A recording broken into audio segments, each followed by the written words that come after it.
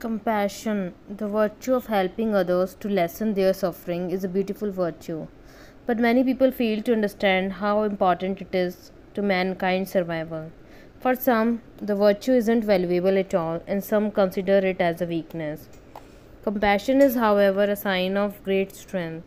It improves the individual's well being, brings positive change in societies, and helps the most vulnerable live happily. More than anything else, compassion does wonders when it comes to making a better tomorrow. It changes others' faith for good and also makes you feel good in yourself. The virtue is concerned with the human spirit and soul, which is kind by birth. All you need is self realization.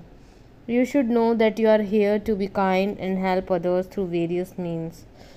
The virtue empowers you to help people get through difficult time and it is usually beneficial for you too. The benefits of practicing compassion minimizes anxiety and fear.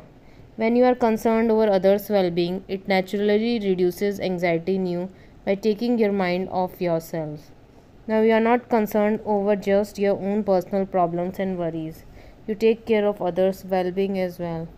Moreover, by taking part in kind efforts, you gain a different perspective on life. When you express your sympathy through your kind acts, you feel strong and does not experience fear anymore. Remove stress and brings happiness. Being kind reduces stress to a great extent. You start looking after yourselves in a better way because now you think for others as well. Empathy makes you feel light and stress free naturally. When you see a smile on a stranger's face due to your kind efforts, you feel happy helps you understand yourself.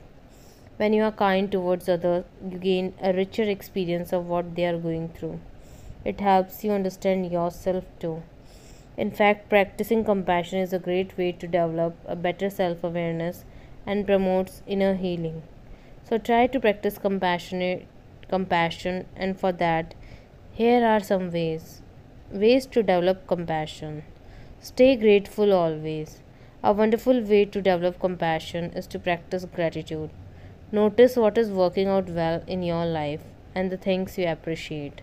When you stay grateful for what you have, you feel compassionate for those who are less fortunate. Be a genuine listener.